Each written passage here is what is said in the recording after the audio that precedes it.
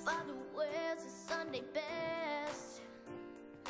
Mother's tired, she needs a rest. Kids are playing up downstairs.